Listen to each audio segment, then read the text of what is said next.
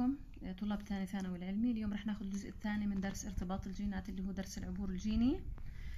آه، مهم كتير بهذا الدرس أو الأهداف اللي بدنا نحققها بهذا الدرس إنه آه، لازم نعرف متى يحدث العبور الجيني وما المقصود بالعبور الجيني وشو أهمية العبور آه، الجيني. هلأ العبور الجيني أول إشي لازم نعرف كيف أو كيف توصل مورغان لهاي الظاهرة. إنه مثلا في عندي ظاهرة ارتباط جينات وفي عندي ظاهرة عبور جيني. هلا بالتجربة الأولى اللي اللي أجراها مورغان لما آه، زاوج آه، أنثى ذبابة فاكهة رمادية الجسم غير نقية طبيعية الجناح غير نقية للصفتين مع طبعا هاي آه، أنثى مع ذكر أسود الجسم ضامر الجناح. حكينا طلعت نسبة الارتباط أو نسبة الأفراد الناتجة خمسين بالمية إلى خمسين بالمية.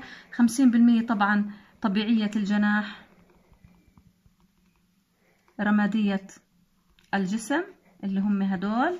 الأنثى كانت طبيعية الجناح رمادية الجسم غير نقية للصفتين والذكر كان أسود الجسم ضامر الجناح. تمام؟ طلع عنده الأفراد الناتجة. طبيعي الجسم طبيعي الجناح رمادي الجسم إلى خمسين بالمية أسود أو ضامر الجناح آه، آه، سوداء الجسم. يعني طلع عنده ذبابات.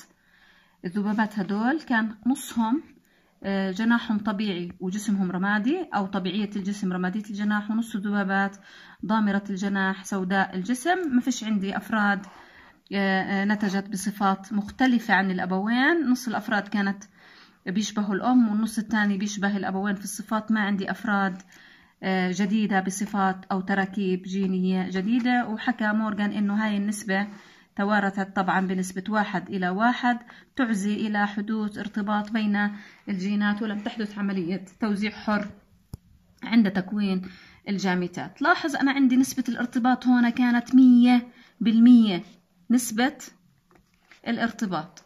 نسبة الارتباط كانت 100% ليه؟ لأنه ولا فرد من الأفراد الناتجة ظهرت بتراكيب جينية جديدة أو بصفات جديدة هلأ في أحد التجارب مورغان لاحظ أنه في بعض الأليلات أو بعض الجينات قد تنفصل قد تنفصل وتؤدي إلى ظهور أفراد آه، آه، جديدة بتراكيب جينية جديدة وبصفات آه، جديدة. خلينا نشوف كيف بتصير آه، كيف النتائج اللي توصل لها مورغان آه، وعرف إنه في ظاهرة حدثت اسمها ظاهرة العبور الجيني. نفس التزاوجات عمل آه، G capital G small T capital T small أنثى رمادية الجسم طبيعية الجناح غير نقية للصفتين. خلينا نكتب رمادية الجسم طبيعية الجناح. غير نقية للصفتين آه، آه، أجرى بينها تزاوج آه، مع ذكر أسود الجسم ضامر الجناح. إذا هذا أسو... ذكر أسود الجسم ضامر الجناح. في أحد في أحد التجارب أتوقع إنه تطلع معها النتائج زي ما طلعت معه في التجارب الأولى لكن تفاجأ مورغان إنه طلع عنده نسب مختلفة مش متساوية بين الأفراد كانت آه، بنسب كبيرة بالنسبة لصفات الأبوين ونسب قليلة بالنسبة للأفراد الناتجة. على سبيل المثال لو فرضنا الخمسين بالمية رمادية الجسم طبيعية الجناح كانت بنسبة 48% ظهرت في الأفراد الناتجة. 48% رمادية أو طبيعية الجسم طبيعية الجناح رمادية الجسم وطلعت عنده 2% آه، آه، طبيعية الجناح سوداء الجسم وثمانية وأربعين بالمية آه، ذبابات آه، سوداء الجسم ضامرة الجناح واثنين بالمية آه، ذبابات سوداء الجسم طبيعية الجناح.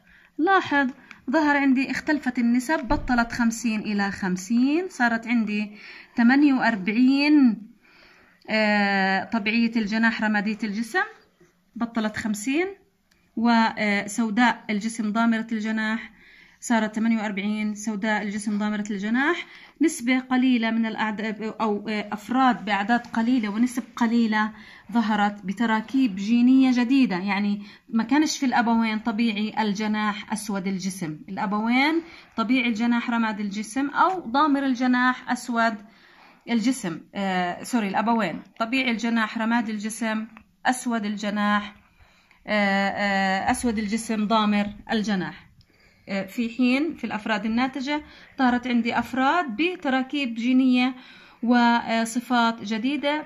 آه، آه، فهذا الكلام آه، توصل من خلاله مورغان إنه حدث انفصال ما بين الأليلات أو ما بين الجينات أدى إلى حدوث ظاهرة اسمها ظاهرة العبور الجيني التي أدت إلى أنه ينتج عندي تراكيب جينية وأفراد بأعداد قليلة. لاحظ النسبة ما كانت واحد إلى واحد إلى واحد إلى واحد زي ما طلعت مع مورغان مع مندل. مندل كانت النسب متساوية 25% إلى 25% إلى 25% إلى 25% هاي ناتجة عن عملية التوزيع الحر.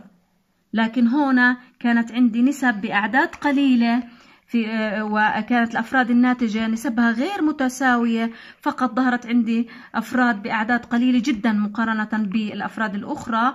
هاي بتكون ناتجة عن ظاهرة آه، العبور الجيني. خلينا نرجع للملخص اللي أو الدوسيه اللي بين إيديكم. آه، طبعا أول هدف متى أو ما المقصود بالعبور الجيني؟ أنا عندي في الدوسية عرف العبور الجيني. آه، العبور الجيني هو حدوث أو عملية حدوث انفصال بين الأليلات الجينات المرتبطة في أثناء تكوين الجاميتات. إذا تحدث في أثناء تكوين الجاميتات. إذا تحدث عملية العبور الجيني متى؟ آه، تحدث أو متى يحدث العبور الجيني في أثناء تكوين الجاميتات وهي عملية التعريف. هي عملية تبادل أجزاء من المادة الوراثية بين الكروماتيدات غير الشقيقة. بين الكروماتيدات غير الشقيقة. لاحظ غير الشقيقة والكروماتيدات في زوج الكروموسومات المتماثلة في أثناء الطور التمهيدي الأول من الانقسام المنصف. هذا التعريف خلينا نشرحه عشان نفهم شو المقصود بالكروماتيدات غير الشقيقة والكروموسومات المتماثلة وشو معنى تبادل أجزاء من المادة الوراثية. تمام. هلا لو أنا إجيت إذا بتتذكروا إذا بتتذكروا يا توجيهي لما إحنا كنا نحكي إنه أي خلية قبل حدوث الانقسام يحدث تضاعف للكروموسومات. فلو كان عن أنا عندي زوج الكروموسومات رقم واحد. هذا الزوج الكروموسومات رقم واحد رقم اثنين رقم ثلاث ما ينطبق على هذا الزوج ينطبق على باقي أزواج الكروموسومات هذا زوج كروموسومي لو فرضنا إنه الرقم واحد أو رقم أربعة رقم ستة زي ما بدكم خلينا نحكي رقم ستة. هدول زوج كروموسومات غير نحكي عنهم كروموسومات غير متماثلة. آه sorry كروماتيدات غير شقيقة. هدول كروموسومات غير شقيقة. بنسميهم كروموسومات متماثلة. يعني هذا وهذا كروموسومان متماثلان. ليش متماثلان؟ مش شقيقان متماثلان لأنه إذا كان عندي الأليل اللي موجود هون سائد مثلا G capital تمام؟ الأليل اللي قباله على كروموسوم الزوج الآخر قد يكون g small اذا إحنا هون ما بنحكي عنهم آه، شقيقان بنحكي عنهم متماثلان. ليش متماثلان؟ لأنه نفس المحتوى الوراثي. يعني هذا الأليل وهذا الأليل لنفس الصفة. تمام؟ لو فرضنا إنه في عندي كمان أليل أو كمان آه، صفة على هذا الكروموسوم لو حكينا عندي T آه، capital يقابلها t small هدول زوج كروموسومات زوج كروموسومات أو زوج من الكروموسومات المتماثلة. متماثلان هلأ حكينا قبل أي انقسام أي قبل انق... قبل أي انقسام آه، أزواج الكروموسومات هاي تتضاعف. تتضاعف. هذا الكروموسوم بيتضاعف وهذا الكروموسوم بيتضاعف. بيتضاعفوا الكروموسومات تمام؟ هذا لما تضاعف أعطاني كروماتيد. أصبح هذا وهذا الأزرق والأحمر كروماتيدان. كروماتيدان شقيقان. هدول شقيقان. ليش شقيقان؟ لأنه نفس المحتوى الوراثي. يعني هذا الأزرق لما تضاعف أعطاني واحد تاني اللي هو ضعفه يحتوي أو يحمل نفس المحتوى الوراثي. عشان من هيك بنحكي عنهم كروماتيدان. كروماتيدان. شقيقان. والكروموسوم الثاني برضه أصبح عبارة عن كروماتيدان. شقيقان. لحاله كروموسوم مع الجزء المتضاعف منه أو مع آه، آه، آه، الضعف تاعه بنسميهم كروماتيدان. شقيقان. ليش شقيقان؟ لأنهم لهم نفس المحتوى الوراثي. يعني هون عندي G capital وهون عندي T capital كروماتيدان شقيقان.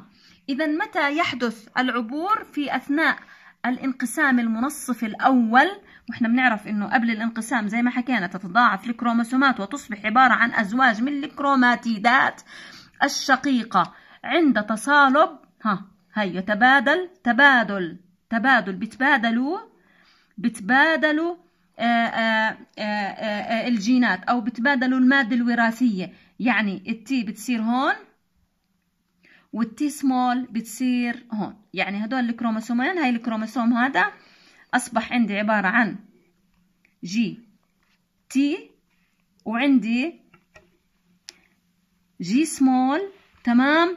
T capital من وين إجت ال T capital تبادلوا المحتوى الوراثي. هاي إجت على الكروماتيد الغير شقيق إلها. كروماتيدان غير شقيقان يتبادلان أو تبادل جزء من المادة الوراثية بينهم. تمام؟ هلأ الكروموسوم الثاني صار عندي. هيو كروماتيد. والكروماتيد الثاني G capital T capital بس هون صارت عندي t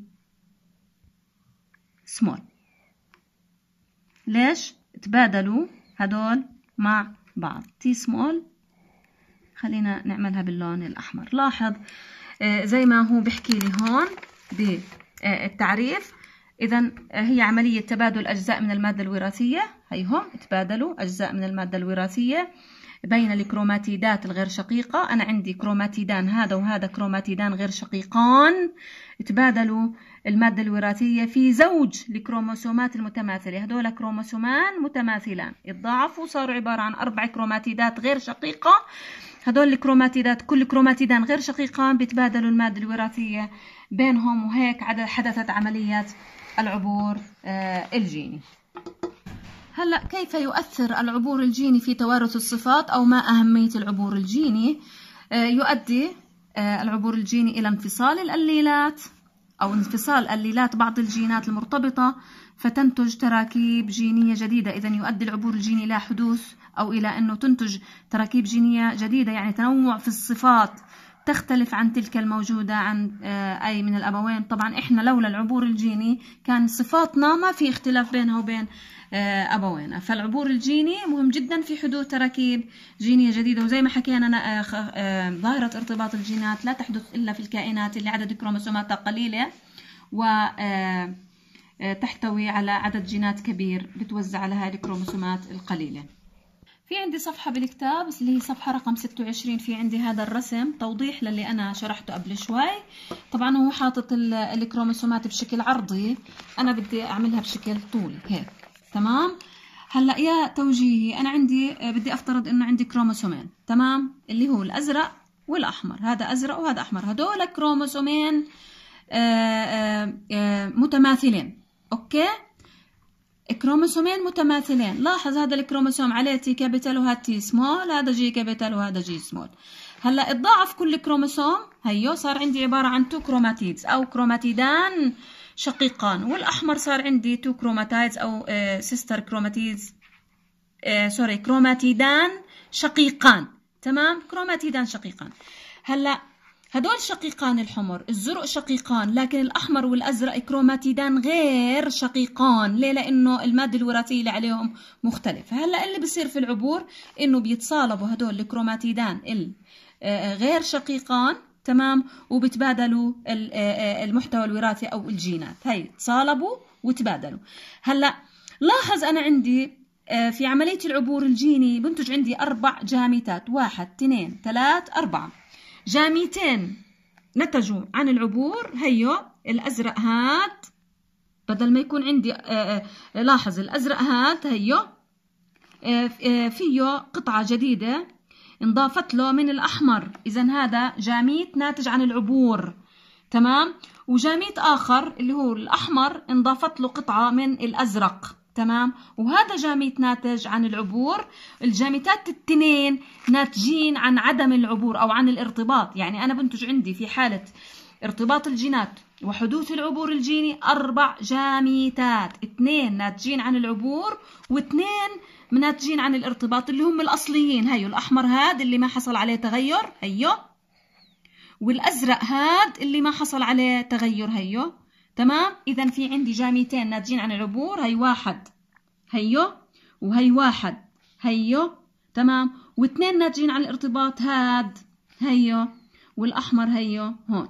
إذا بينتج عن آه، آه، السؤال اللي دائما فيه ارتباط وحدوث العبور الجيني لازم يكون عندي أربع آه، جاميتات. هلأ هون في عندي سؤال صفحة 27 يمثل الشكلان ألف وباء. هاي في عندي الشكل ألف وهي عندي الشكل باء. حالتين لجينات مرتبطة. عندي حالتين الحالة الأولى والحالة الثانية. اكتب الطرز الجينية للجاميتات الناتجة في الشكل ألف. الشكل ألف في حال عدم حدوث العبور جيني. ما حدث عبور جيني؟ أنا عندي الكروموسومان هدول 2N يعني كأنهم هيك. تمام؟ بس هو عاملهم بالعرض. يعني ال A وال B وال A أسفة.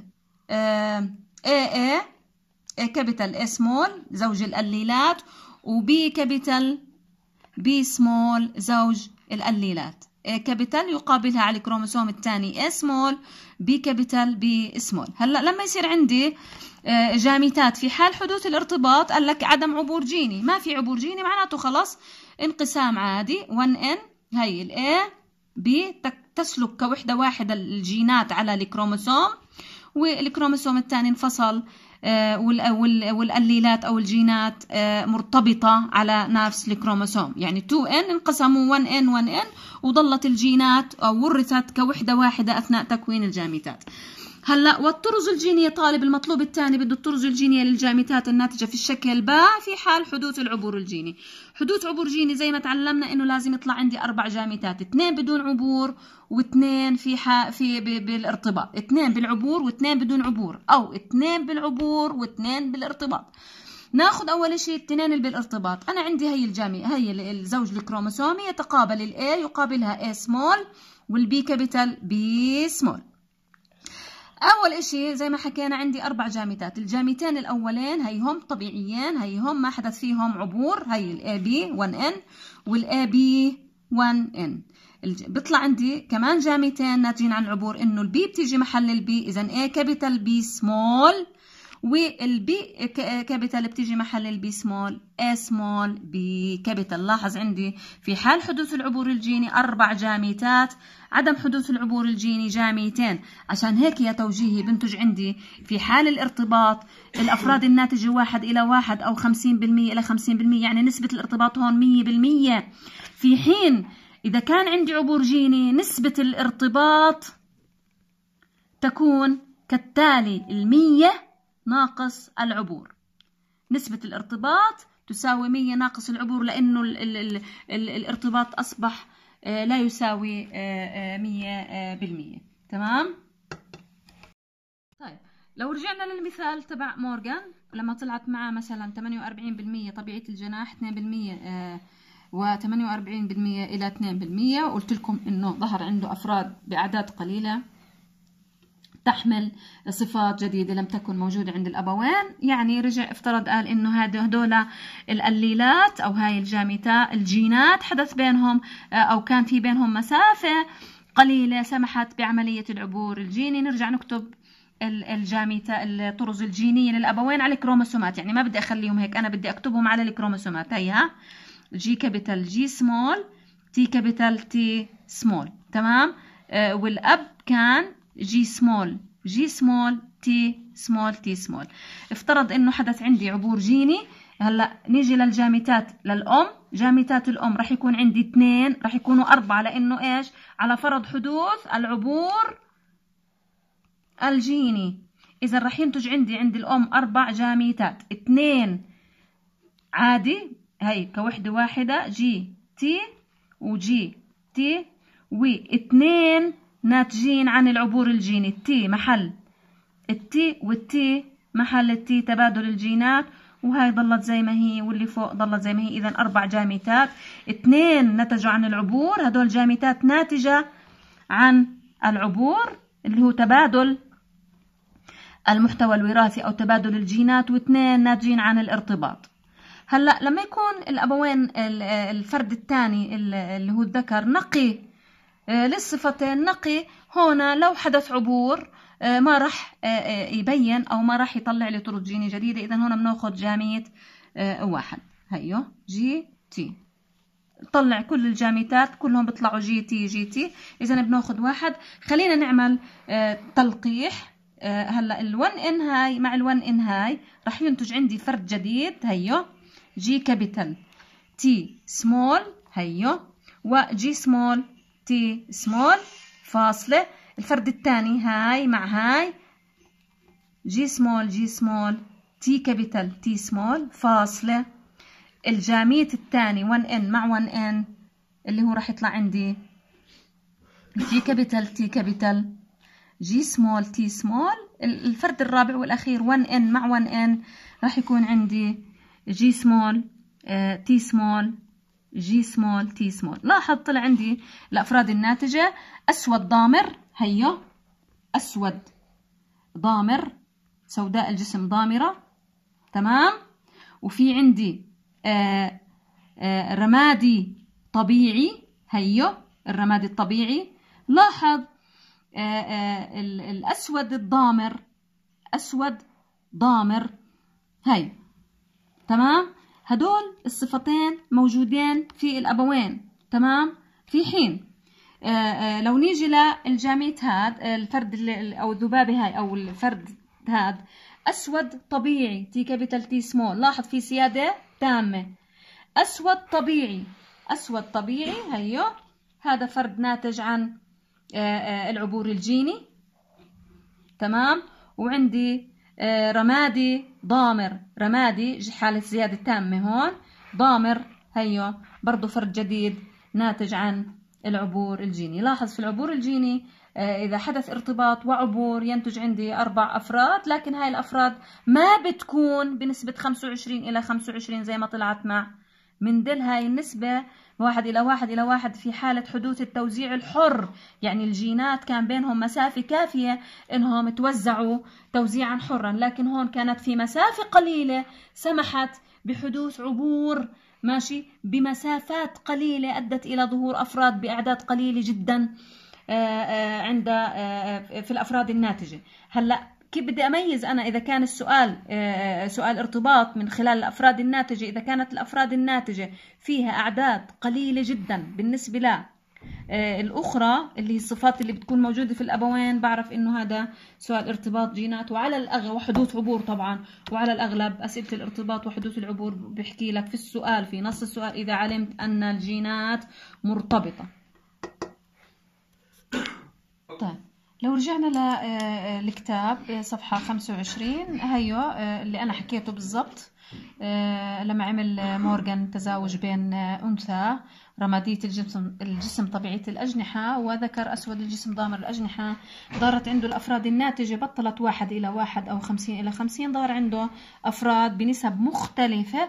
لاحظ عندي هون العدد كان مية وخمسة وثمانين سوداء الجسم طبيعية الأجنحة 206 رمادية الجسم ضامرة الأجنحة. 944 سوداء الجسم ضامرة الأجنحة.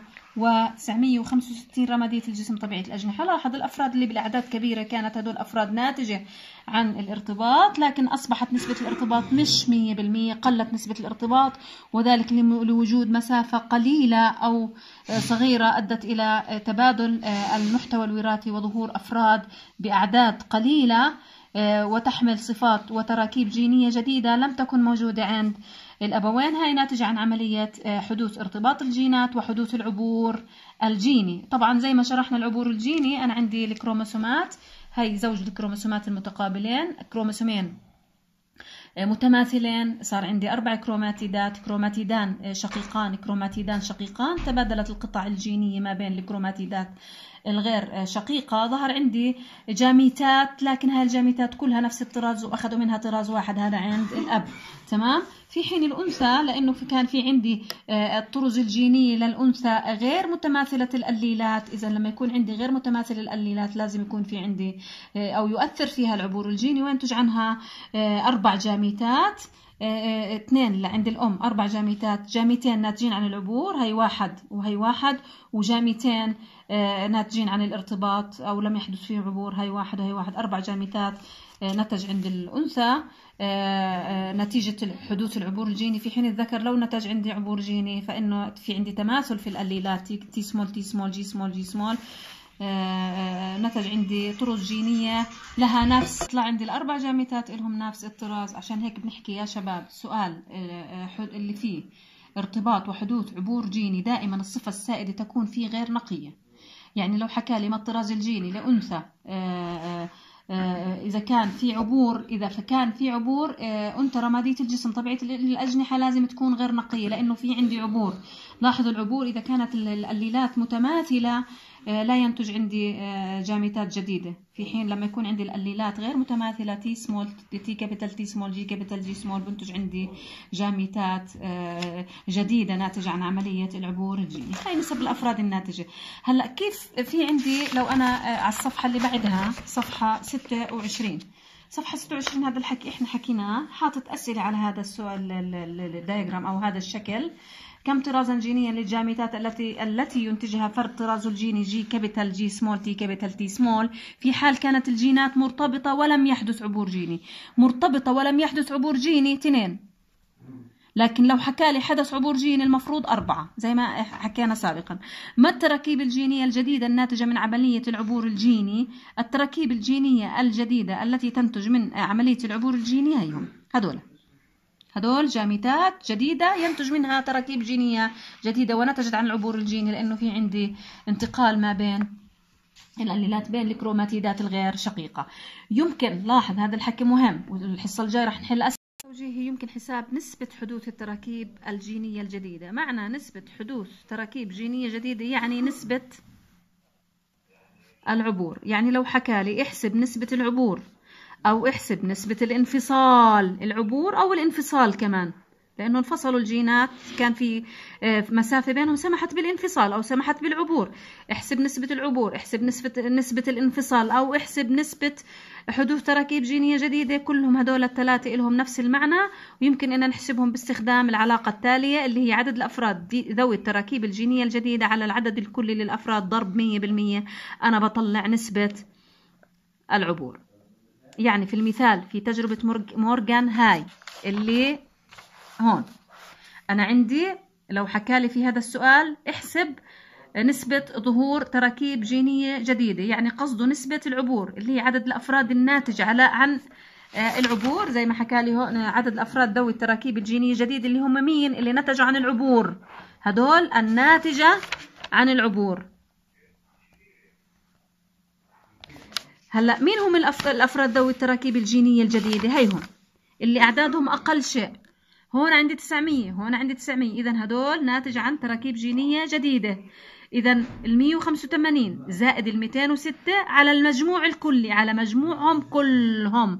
200 185 زائد 206 زائد 944 زائد 200 965 آه، زي ما هو عامل في كتابك. هي عدد الأفراد ذوي التراكيب الجينية الجديدة اللي هم 185 زائد 206 على عدد الأفراد الكلي العدد الكلي طلع 2300 آه، اللي هو مجموعهم كلهم العدد كله. ضرب 100% بتطلع نسبة حدوث تراكيب جينية جديدة 17% أو نسبة العبور أو نسبة الارتباط تساوي سبع... آه، نسبة الانفصال تساوي 17% لو طلب مني على نفس السؤال ما نسبة الارتباط؟ وأنا بعرف إنه الارتباط لما ما يكون في عبور بيكون 100% لكن في حال حدوث العبور بقل الارتباط بطل نسبة 100% بصير ال 100% ناقص العبور. إذا الارتباط نسبة الارتباط تساوي 100% ناقص العبور ويساوي 100% ناقص 17% تمام؟ وهذا الحكي يؤدي إلى آه، الإجابة بتكون ستة مية بالمية ناقص سبعة عشر بالمية بيطلع الجواب ثلاثة وثمانين بالمية. إذا نسبة الارتباط ثلاثة وثمانين بالمية. نسبة العبور سبعة عشر بالمية. نسبة الارتباط 83 كمان مرة. نسبة العبور 17% إذا نسبة الارتباط تساوي 100 ناقص العبور. لو كانت عندي نسبة الارتباط ما فيش عبور نسبة الارتباط 100 ناقص صفر لأنه ما في عبور بتكون. وبهيك طلاب الأعزاء بنكون أنهينا آه، العبور الجيني وارتباط الجينات. الحصة الجاية موعدنا مع حل أسئلة آه، على درس العبور الجيني والارتباط. دمتم بود. معلمتكم مريم بركة.